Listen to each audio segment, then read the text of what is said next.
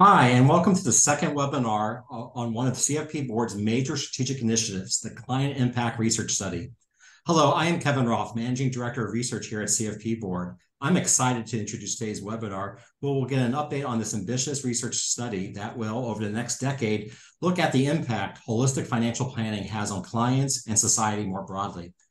During today's webinar, we will learn about the research team's progress, including the consumer financial wellness definition and framework that they're developing to evaluate client outcomes. And they will also share some, share some takeaways from the second round of pilot surveys conducted earlier this year.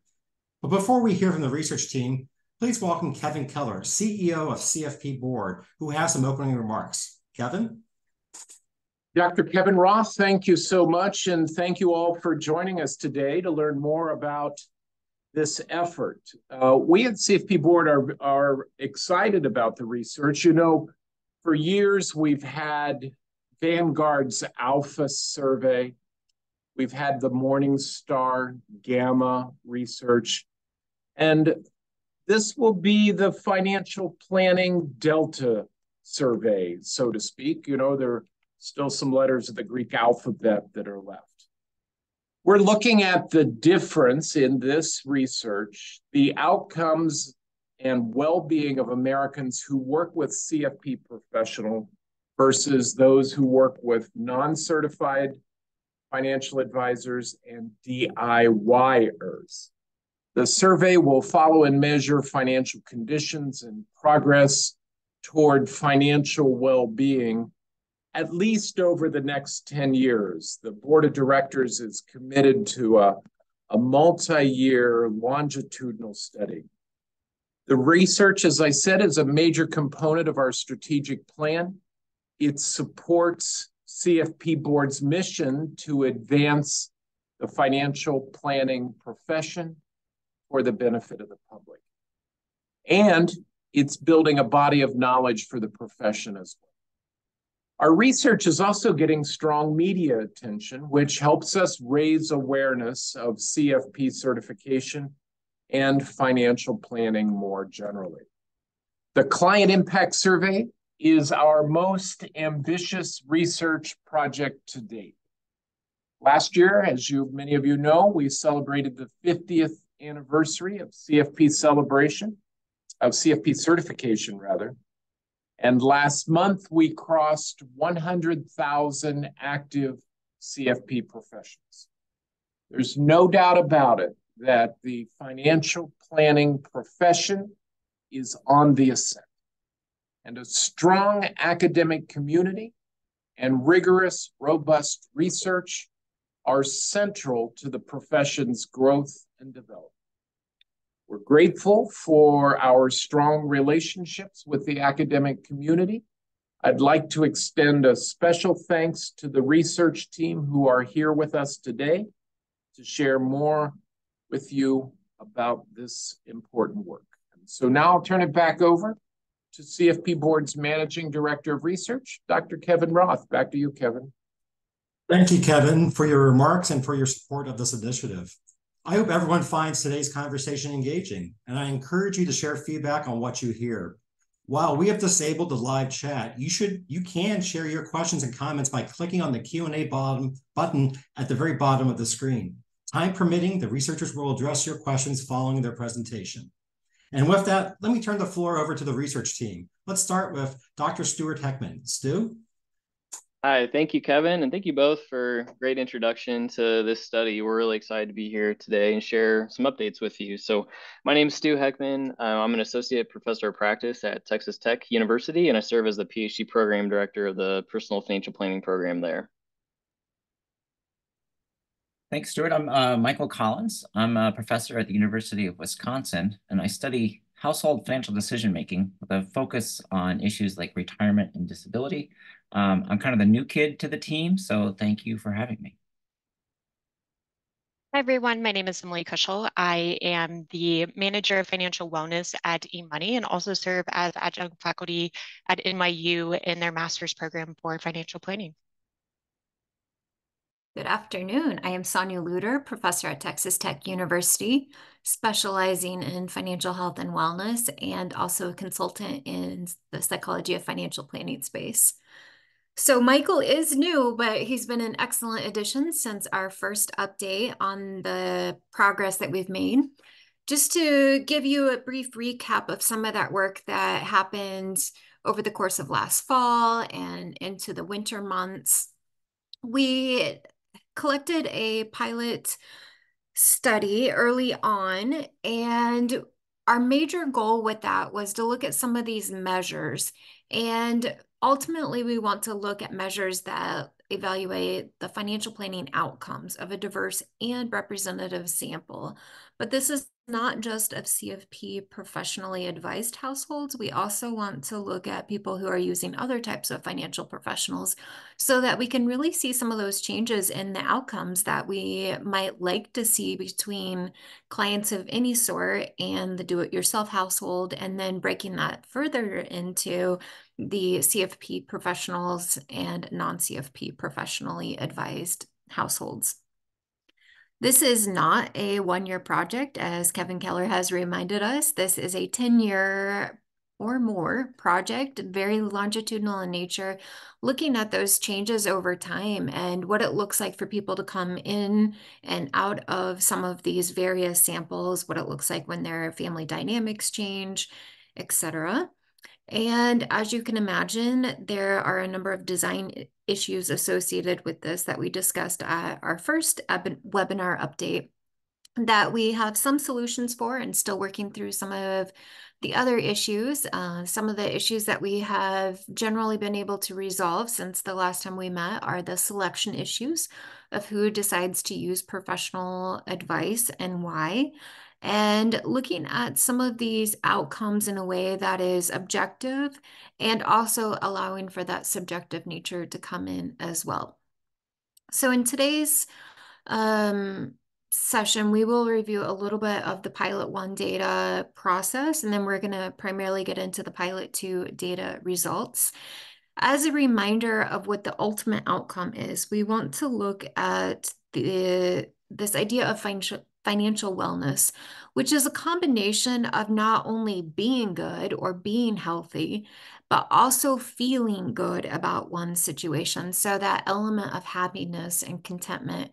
Uh, one of the elements that really was pulled out from the first webinar, which was great, uh, the pilot one data, again, pilot, so not the diverse and representative sample that we ultimately would like.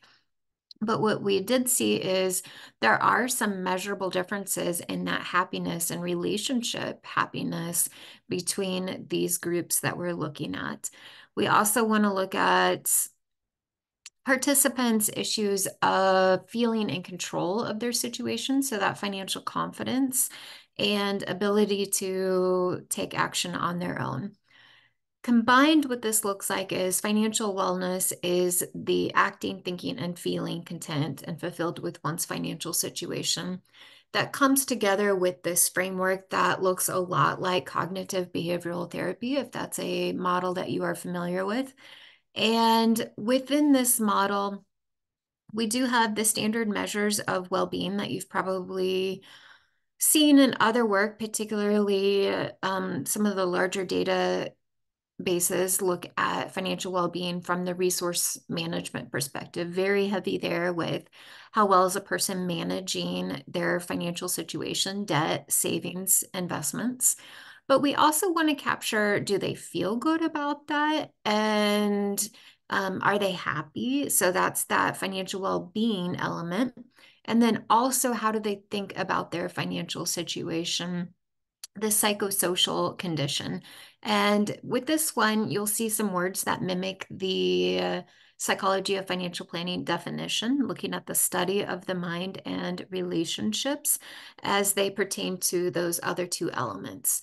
So within this framework, you'll see that any one of these can affect the other one. If a person has is really good on resource management, they are making ends meet, they don't have any debt, they look really good objectively, there's they still might not have a high financial wellness score because they don't feel satisfied with where they are currently. They're still chasing something else.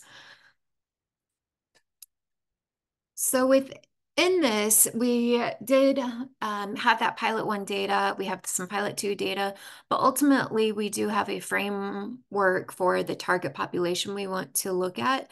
And this is a population that's probably going to look familiar to you from other work that the CFP board has done. So I will hand it over to Dr. Heckman to give us a brief rundown of what that target population is. Yeah, thanks. So this um, and as Sonya mentioned, this is kind of in flux. Um, this is a conversation that we've been having. This is the target population that we're aiming for currently, but some of the things that we're talking about within this, you know, being a 10 year study, um, we've decided to kind of lower our thresholds, um, I'd say relative to what is typically thought of as the um, typical client that a CFP professional would be engaging with because over a 10 year period we might see people kind of moving in and out of this um, target population. And those are really important opportunities from a research perspective to try to identify the effect of working with a planner um, engaging services for the first time moving away from services and so those movements will be really important and so um, this is especially something uh, that we're gathering feedback around. So if you have thoughts about what kind of target population um, you would like to see, you know, we'd, we'd be uh, happy to have uh, those suggestions. And so just a reminder, the Pilot One results, um, there is a recorded webinar from our, our first discussion. Um, and primarily this, uh, the first round of pilot data, we were really interested in testing the outcomes, the financial wellness framework, and getting measures um, solidified around that. And then as a result of that first webinar, we did have a number of great um, points of feedback. And you can see some of the uh, summary points here. And I'll, I think I want to highlight just that participants really added a lot of useful and diverse perspectives on what they would like to see, um, you know, out of the out of the study in the long run. Um, a few of the highlights, I think one thing that I'm particularly excited about would be this longitudinal nature and the ability to track things over time and see how things change within the profession over the next 10 years, uh, while also accounting for, you know, we'll have state identifiers is the plan so that we'll be able to, you know, as regula- uh, regulatory action, um, you know, changes between states, those are also really good research opportunities to try to identify the impact of uh, those types of changes. But in general, I think I'll also just point out there's a lot of excitement for for the study, and um, and obviously we share in that, and we're glad the board shares in that, um, and so we're really excited to uh, see this project come together. So just to give a quick summary of our approach here on pilot two, so our our real objective was really focused on continue to test the um, the measurement, the items that we're using, the financial framework, uh, financial wellness framework, and to continue to clarify some of the selection issues. And so, what we mean by that um, would be the the ways in which people sort into or choose to work with um, financial professionals. And then one of the real keys that we were focused on in pilot two was this aspect of um, how do we account for differences in service options when somebody consults with a financial professional there was actually a, a, a, question that I saw came the come through the chat about DIY households and how we're going to define that. And one of the important features here is we really need to be able to capture what types of engagements and services people are getting when they go to see a CFP professional, because we know there's a lot of variation within that, and when they go see a non-CFP professional. Um, and so a lot of the measures, and we're going to highlight a couple of those today, uh, we're really focused on trying to clarify what the services are so that we can make reasonable comparisons. And so in pilot two, we really had two samples that we're going to talk about. We had a financial professional sample, which included CFP professionals that came out of the CFP board panel, and then also a broader database of financial advisors who are not CFP professionals. And so we'll um, we'll highlight a few differences here but again, I really want to emphasize, you know, our, our results today based on these sample sizes and, you know, people have selected into participation with, with these surveys. It's a lot different than the sampling that we're going to be going through with our research partner um, on the collection in the first round for the 10 year study, um, where that data is going to be representative. We really want to de-emphasize you know differences at this point in time. Uh, so I'd caution you not to draw you know inferences or conclusions about differences between groups. The real focus here is on items and how we're uh, wording the questions and what we're hoping to measure uh, with these different items. And then we also had a, a second round um, that we sent to clients and consumers using an Alchemer panel, and you can see some minimum asset size um, and income there. And with that, I will turn it over to Michael, who will walk us through the financial professional sample. Great, thanks, Stu. Well, I, you know, I want to emphasize we're, you know, we're not trying to say anything generally about the field, but we are given a real nice opportunity here to compare how different groups of professionals answer different kinds of questions, and also how that compares to how clients answer those same questions. So um, this is all exploratory, but it helps us to get a sense of how this survey will work. Um, and so what I'm going to do is walk through some of those preliminary results from this sample that Stuart just talked about. Um, so the first thing I wanted to show is a map. We got a, res a response from a financial professional in 40 out of 50 states. Um, you can see the darker states like California, Texas, and Florida, we tended to get more responses from. No surprise, those are some of our bigger states. Um, so again, this is not nationally representative per se, but it does give us a sense of a, a pretty diverse group of professionals across the country. So on the next slide, this is just a little bit about the uh, profile of the advisors. And so again, advisors we're defining here as uh, financial professionals who work with clients, but do not report having that CFP professional designation. That is in contrast to the CFP professionals who did say, in addition to whatever other uh, credentials they might have, they do acknowledge having that CFP uh, professional. So um, in general, this was an old, older sample that we're surveying here. Um, the majority are 55 and older. I think only about 20% were under 40, so it tended to be a little bit older of a sample, tended to be more male, um, more women in the uh, CFP professional side, but um, you know, in general, this is probably representative of what we, what we might see in the field more broadly. Um, about half had an advanced degree of some kind, so post-college degree. Um, the majority were white, um, between three quarters and four fifths were white.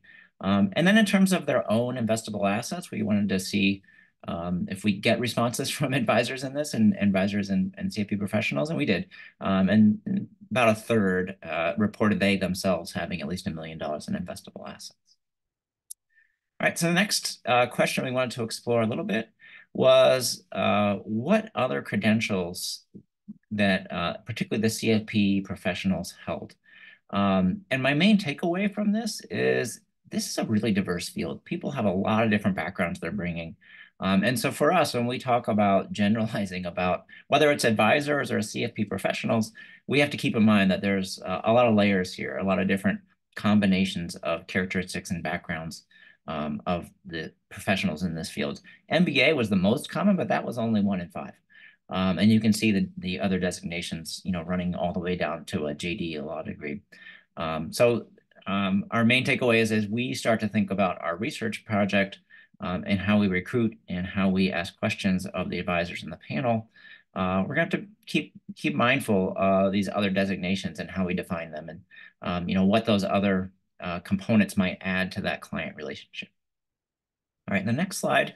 Uh, this is where we start to do some comparisons that I think are interesting from our perspective as we are designing this 10-year longitudinal study, where we can look at the results for questions from clients, the question, so clients are people who are working with a financial professional, they're not DIY, um, and then advisors and then CFP professionals.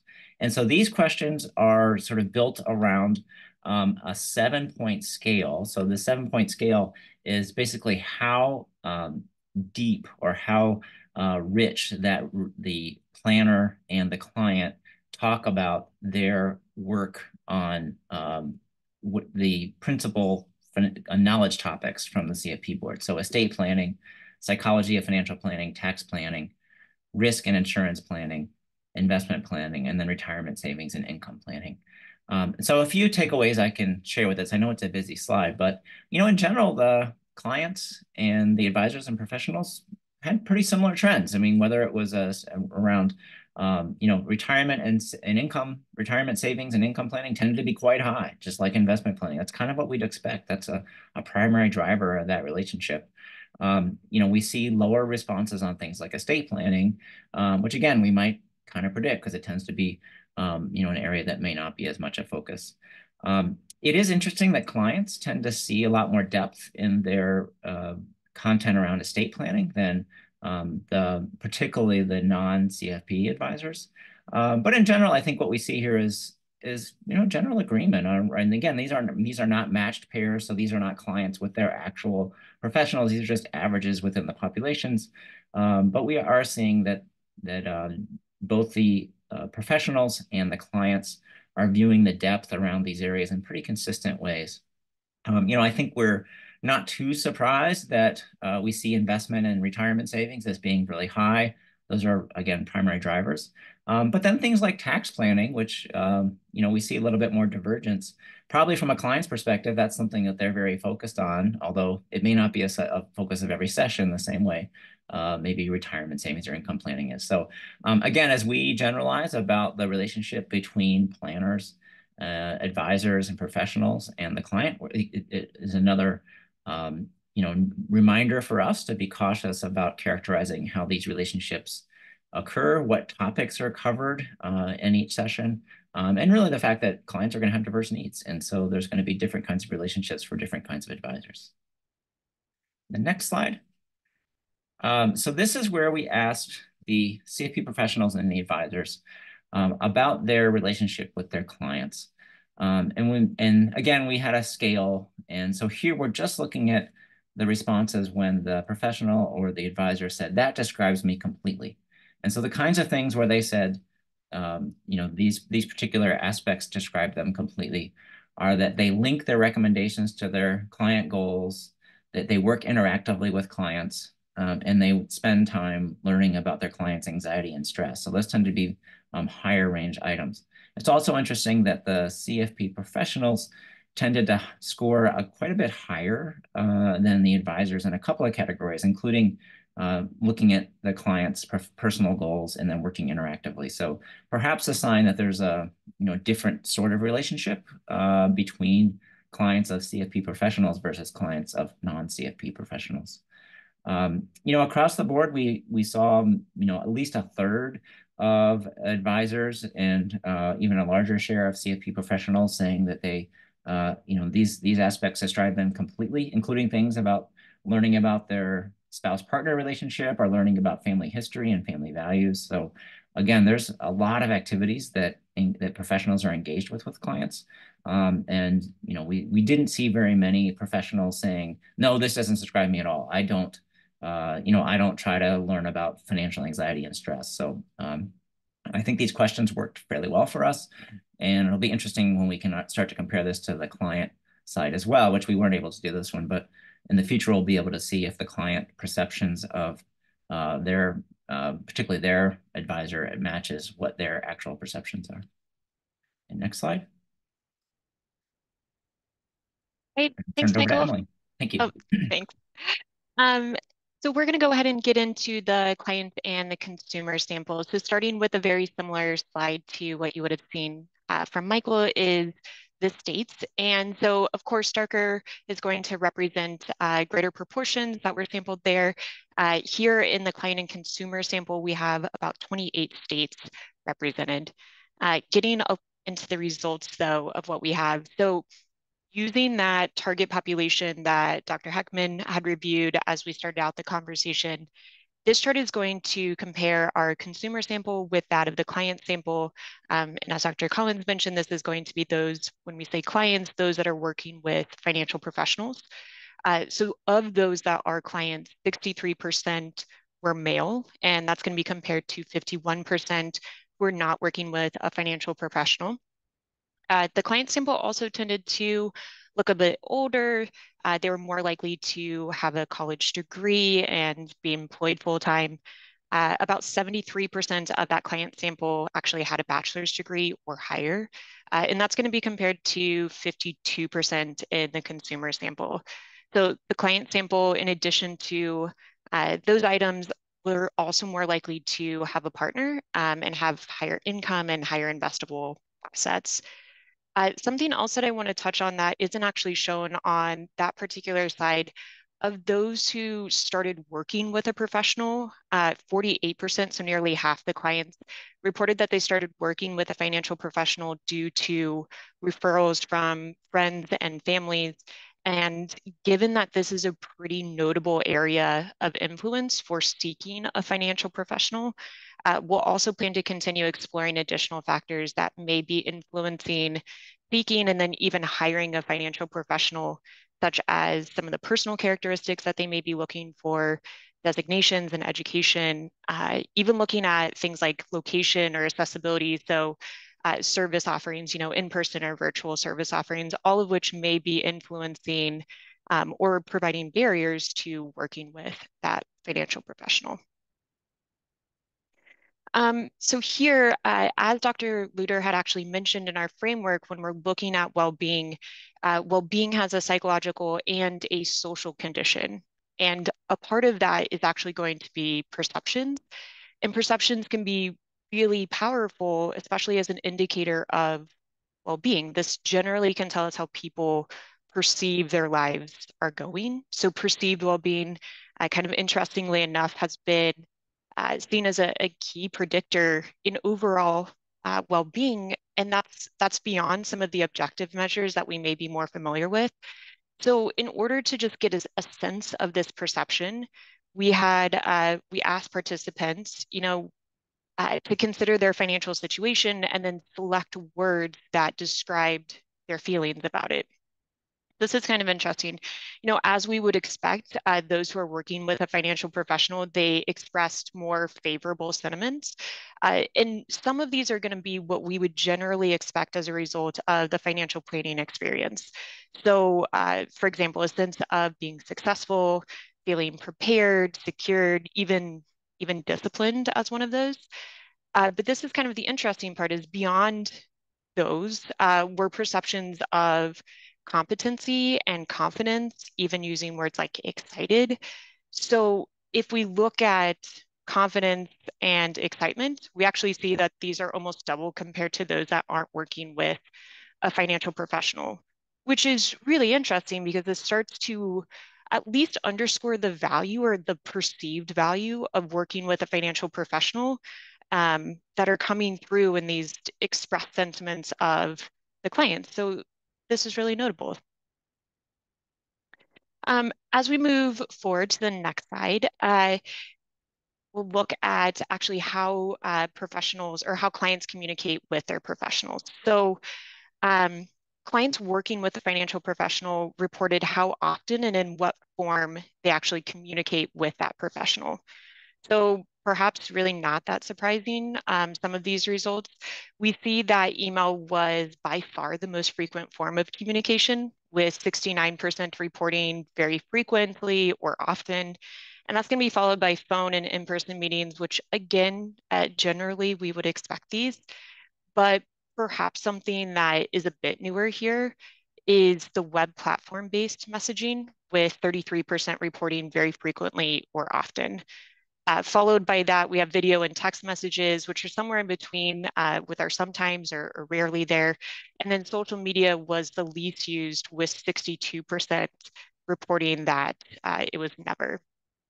But while it's important that uh, we understand how clients are communicating currently and today, we're also really interested in understanding how this could either either stay the same or change in the future. So for example, if we look at email, phone, and in-person meetings, these, these are what we have traditionally used as forms of communication. Uh, but of course, if we just go back, you know, a couple of years here, we're coming off the heels of the pandemic, which forced us to adapt to virtual offerings. If we look at the evolution of financial technology, we may continue to see even more innovative ways to communicate. So as we're looking at this today, it's very interesting, but we'll also look to continue assessing this and um, understand what is being used most frequently in the coming years. And then also asking clients about their preference for communication. So this can help us really better understand that although this is what they're using it, what is the client's preference, and start to get at perhaps what is the most effective client communication. So more to come as we move forward with these results. All right. Um, so in addition to understanding how clients are communicating with their financial professionals, we also want to understand if they're using any other resources or turning to any other resources. And in particular, we ask them to reference um, what are they relying on to inform their financial or investment decisions. So starting with, with our clients, again, those working with our financial professionals, they were more likely to use tools provided by their employer and tools of that of the financial firm, which makes good sense. Um, while both the, the clients and the consumers show relatively low levels of use when it came to social media or online videos, uh, this is again something that we'll want to look at because um, this could continue to change over the years as we see uh, especially more active social media and video use from that of, of younger generations. So this area could be particularly interesting uh, to track as somebody may move from being, let's say, a consumer into a client, and we have the time in this longitudinal study to understand some of those resources. Uh, in addition to that, we actually have both groups that are actively searching um, through uh, some formal channels, but also using what we probably all have turned to at some point in time, which is just the general internet. So Googling.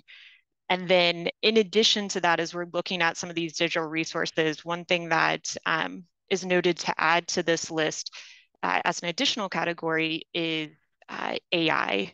So something like a ChatGPT and using that as a digital resources. Um, in addition to that, kind of finally wrapping up this portion here is also assessing how important these resources are to those that are using them. And perhaps even more telling is to what degree they actually trust these resources. So additional considerations for, for the future.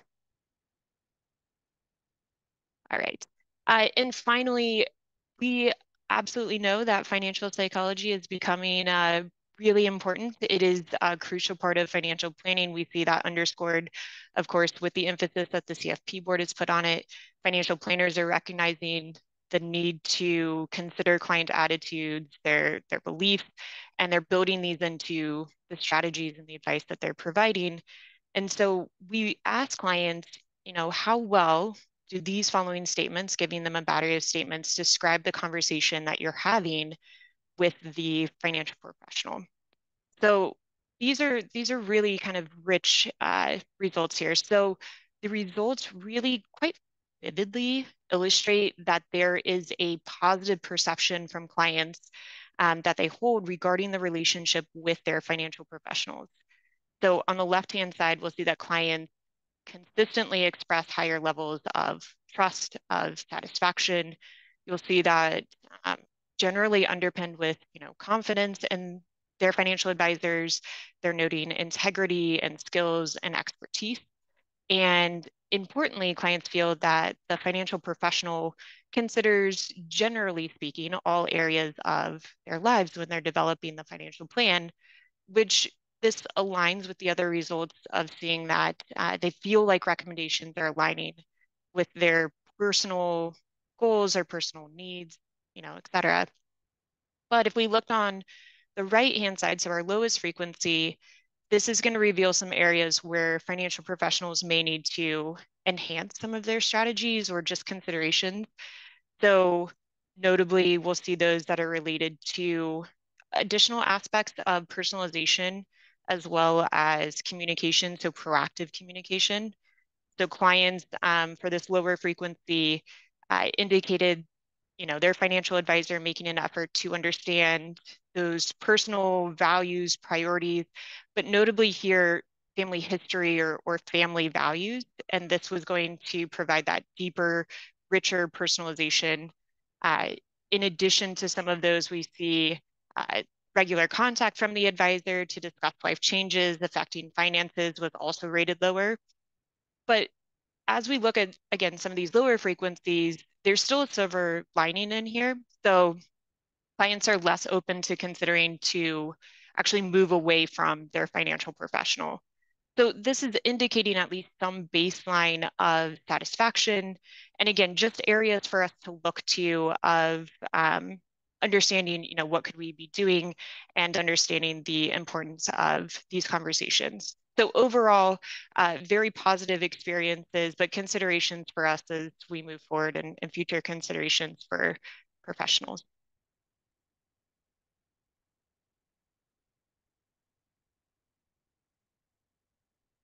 All right, I think over to you, Stu. Um, and I think I just want to highlight that this is just kind of a preview of some of the results. We have um, a number of items that were um, that were asked within both the advisor and on the client consumer side. And we'll have a, a, full written report published on the client impact website. So you can stay tuned for that. That really goes over, you know, each item that, that was on the survey.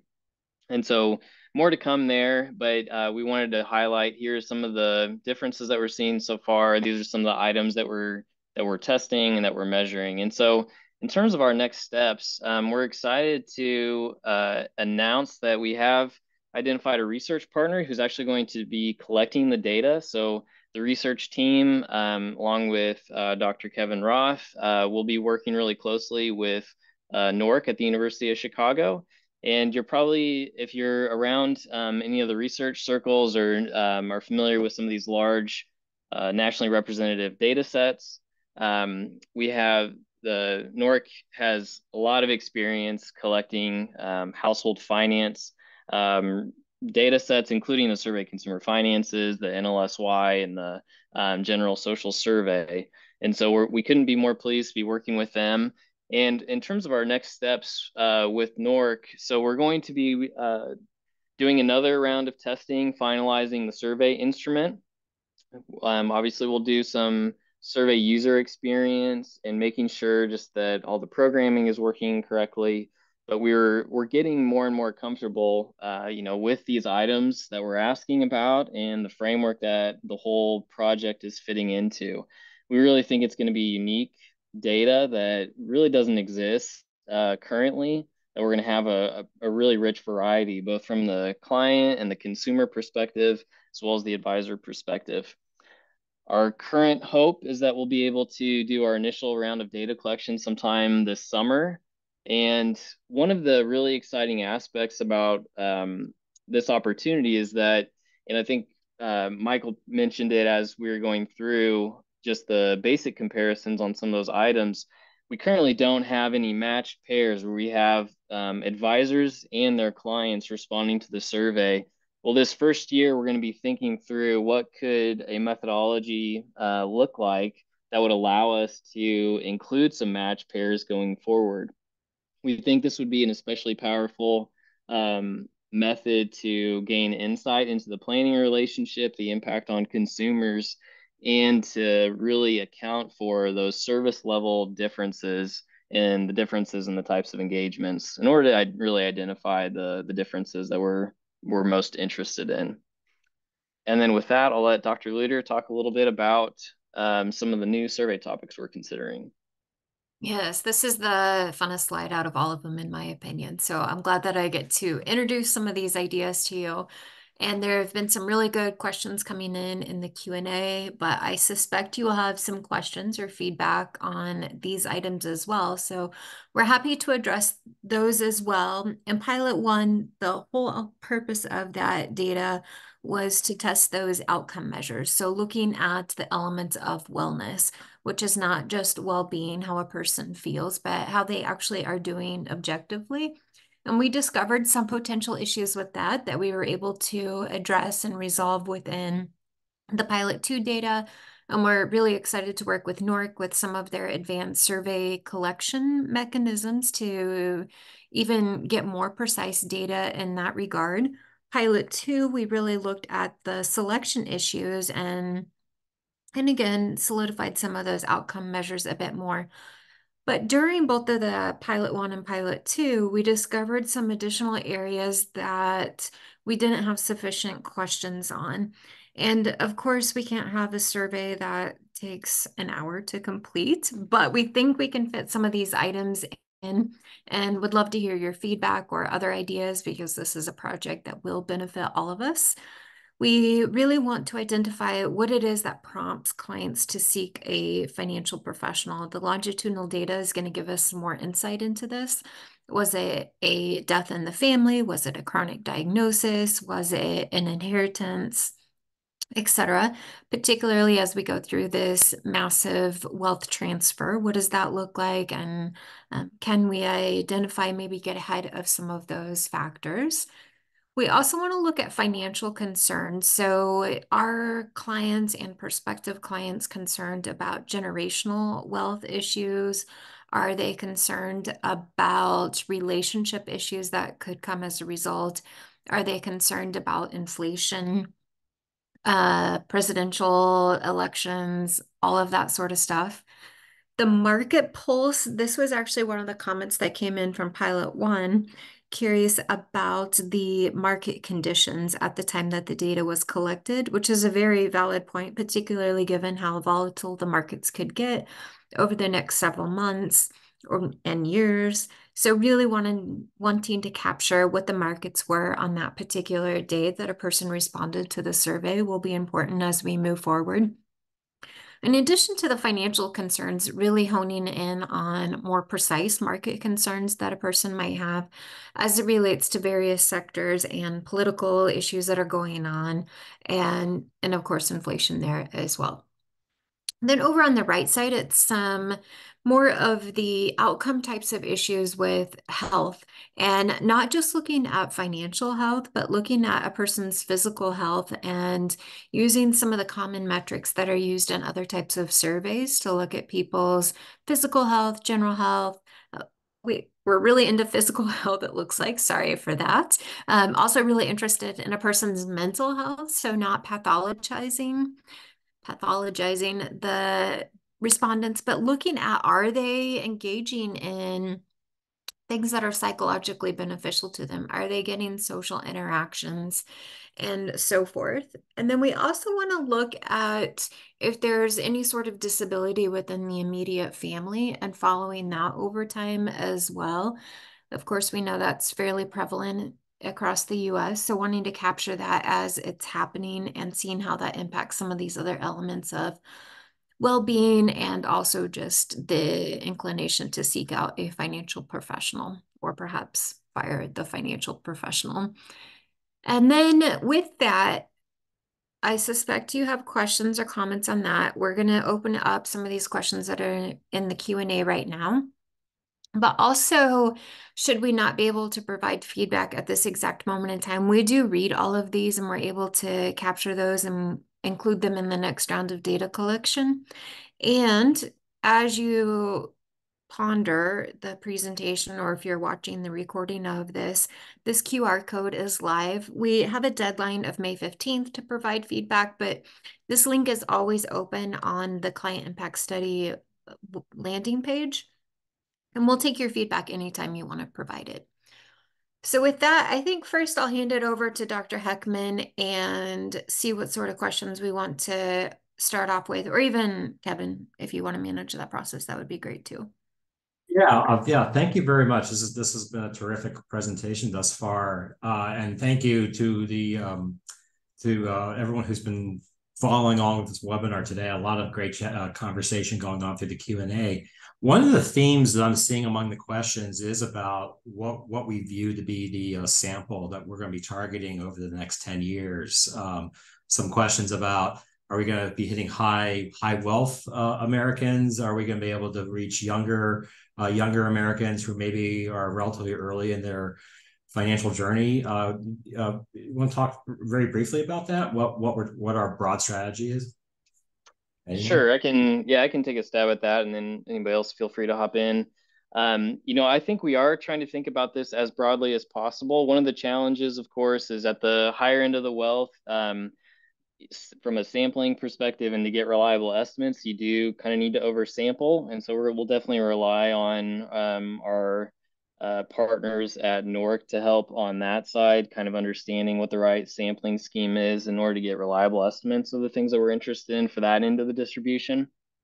But then by the same token, we are really curious to have a really wide um, breadth of participants, um, even on the lower income distribution. Um, and as I mentioned, that might typically be outside of a, uh, I don't know, a typical uh, CFP ideal client. Uh, because I think, at least my perspective, and I think a lot of us have the perspective that financial planning really has the potential to benefit uh, the public at large. And so we'd really like to understand a little bit more about what's going on in those income and asset levels that are typically outside of maybe uh, typical engagement. And so, kind of along those lines, I saw a few questions about, you know, are we breaking down uh, particular differences by demographic characteristics or by um, generational cohorts and things like that? Absolutely, that will be part of, you know, the um, especially the first round of our formal data collection at this point, we do have some of, we have every question kind of broken down in our uh, larger written report that will be published uh, related to the pilot data. But at this point, our sample size is basically too small to do really detailed breakdowns. And you might have noticed like we didn't break out uh, clients who work with a CFP professional versus clients that work with a financial uh, advisor who's not a CFP professional. We just really didn't have the sample size to do some of those sorts of comparisons. And that's true of some of the different demographic groups that we might like to compare as well. But going forward, that should certainly be part of what we're able to do. Terrific. When I'm looking through some of the uh, answered questions, just just so for some of the participants who maybe not watching, who've who've not been reading Q and A, um, perhaps maybe give a little bit of clarity about both the, the how we're defining a do-it-yourself household. Um, uh, Sonya had a great answer there. Actually, uh, I don't know if you wanted to expand what you said there at all, um, but it's primarily. Oh, oh, go ahead, Sonya. I'm sorry. Sorry, I had my mouse on the wrong screen there. So the do-it-yourself households were capturing by a no response to them not working with a financial professional. And we have this pretty good definition of a financial professional, I think, that we have been using throughout this whole process. And we've defined it as someone who provides financial products, services, and or advice. So we're capturing all sorts of different elements of the financial planning process, whether this be a one time engagement, I bought something from you and I'm done, or maybe you created a financial plan with me and we review it less than annually. We're capturing all of that within the financial professional category, the clients who are working with the financial professional. But what we are capturing on the opposite end, the people who don't respond affirmative to affirmatively to that. Could be somebody who's working as um, they're buying products on their own or maybe they're using an app on their own but they're not engaged with another person as they do that process. Great. Yeah thank you. I, I, I might add on to that because i saw a, a, question about fee model and I, I think it'd be helpful just to revisit some of the so the question in the chat was related to, are you also capturing a uh, difference in basically business model and how the advisor is compensated? So we've we've discussed that a lot, and really where we landed, we felt like it was most important to understand the exact mix of services that are being provided, the depth at which those services are being provided, how frequently they're talking about different areas, and who's responsible for implementing the action items within those areas. So we have three sets of questions that are really designed to capture and understand all the intricacies of the exact financial planning engagement. And we think that's relatively more important than the compensation model because if we're capturing that well, um, we think that's a we'll get to better comparison. So that also addresses um, the question about the DIY folks. So we'll be able to understand if somebody is engaging somebody for advice in one area versus many areas and if they're implementing it or if somebody else is implementing it and this is by the um, principal knowledge topic areas so we'll be able to tell the difference between retirement planning and investment planning uh, who's responsible for what and at what level the uh, professional is engaging. And so that's kind of how we've approached that question and trying to get to comparison groups that matter. We're really trying to capture the differences in the services that are being provided Thanks. Um, there are a couple of questions coming in here about how ultimately we would be measuring um, wellness, financial wellness of, of, of the consumer, of the client, um, including some some such thoughts or suggestions of sources. Do you you want to talk uh, briefly about uh, where we see the path for that is? Yes. Would um, maybe Dr. Or Dr. Koochel, would either of you like to address that?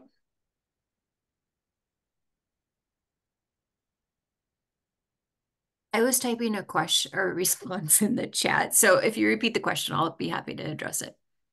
Sure. I think the general question was around our like how we're measuring financial wellness, how that corresponds. I think some of the questions were to the CFPB uh, financial wellness um, scale. Um, and so if you just want to talk a little bit about how we're measuring that, I think that'd be helpful. Yeah, thanks, Kurt, for asking the question and others that are bringing that in. That's the question that I was typing a response to, so this will be more efficient.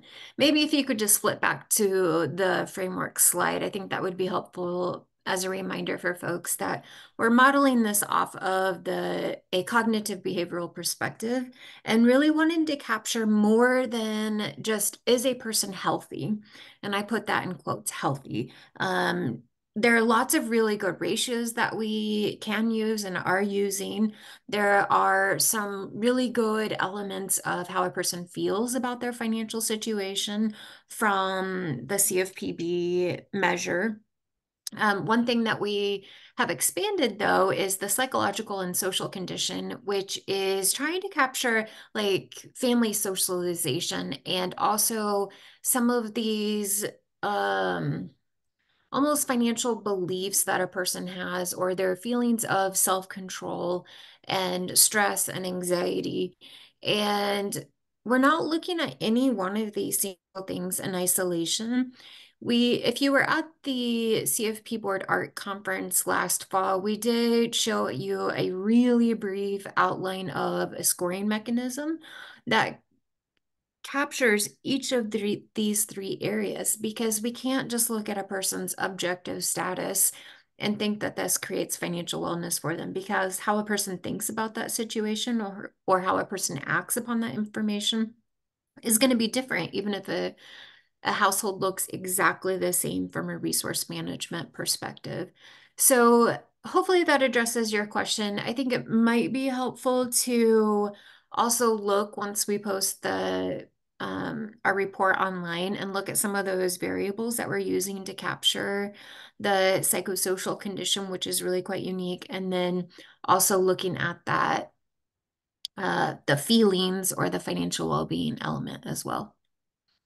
I'll just add to very quickly that um, so we did a, a, paper that's out on the CFP board's website under the client impact uh, page that goes through the different uh, resources that we referenced. And just because we see it quite a bit coming up in the Q&A of the CFPB uh, wellness uh, score, that or the scale rather, that we did reference that. We, of course, referenced other works inside of financial wellness uh, as well as general wellness, um, which has been spoken about. So if you want to just kind of understand some of those resources that we use, CFPB included, that paper is out there and available just as a, a quick reference point as well. Terrific. Um, Another question that, that's coming through that's I, I saw that's that strikes me as kind of interesting is the role of the the uh, the, the, clients probably as, as basically being factored by their age or perhaps by their generation what they've actually experienced up to the point before they even entered the survey panel. So a baby boomer a gen xer have experienced you know may have enjoyed the, the booms of the 90s but but but um but also you know whereas millennials might have been entering you know, basically being in their financial journey during during the two, during the aughts when when when things were kind of uh, rough. How are we gonna um and maybe perhaps it's more about reporting and how we factor? Any thoughts about that sort of that observation that someone made in the comments about that? I'll start just yeah. to oh sorry. I'll start just from using the framework, um, pointing towards something that Dr. Lutter was talking about. So when we look at the um, that framework and specifically inside of that social condition, socialization is going to be a key player in this because it's when we think about where we're at and this perception of where we're at, and when we make that assessment, we're thinking about our past experiences. We're essentially involving where we're at currently today, but we're also looking at, gosh, I this is where I'd like to be in the future as well. So just to, uh, before we get into kind of more of the technical pieces, and I'll throw it over to Dr. Heckman for that, but if we look at the framework to understand that we are capturing some of that in the socialization and the social conditions, saying that we, we acknowledge um, that that is coming through in the way that people are reporting and perceive their financial realities. Yeah, that's great. I was going to say something similar. Um, and then I think we'll be able to account for those sort of generational differences um, on the back end as we go through some of our analyses. But I think a lot of what might be important about you know those generational perspectives might be captured in some of these other items that we have in the survey.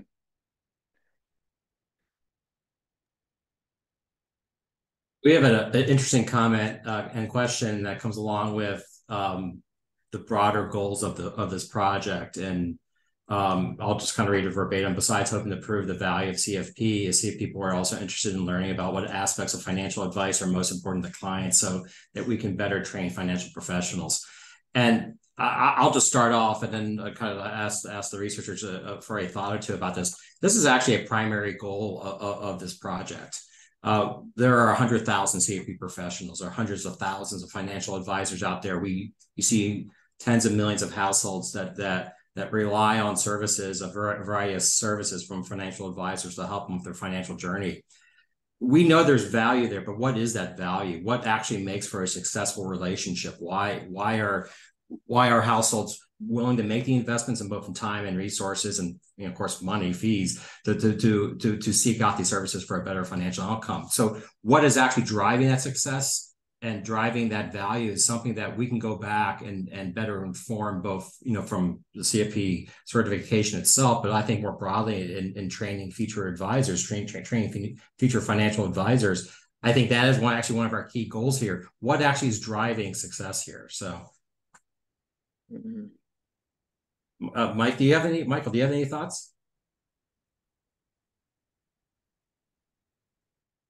I think we're, we're we're, we're still again this is still the exploratory phase but i think these are the important questions that we have to start trying to grapple with and to try to you know see see seeing the same clients over time is going to give us the ability to see trajectories and to see what what kind of inflection inflection points might occur whether that's an engagement with an advisor or a life event or the combination of those two things. So um, we're gonna we're gonna be able to explore these things um, you know over time in a way that hasn't been done before um, and I think that's going to give us a lot of information, both about the experiences of individuals as well as their advisors. And, um, you know, we're going to see a lot of matching too, where clients are seeking out certain kinds of advisors with certain kinds of attributes because they do certain things well. And that may not be entirely around, you know, saving for retirement. It might be other kinds of things they bring to the table.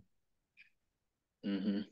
Yeah, that's a good thought. And I was thinking along similar lines that one of the great aspects of the the 10 year longitudinal nature of this is being able to understand characteristics before um, an engagement during an engagement after an engagement those trajectories like dr collins was mentioning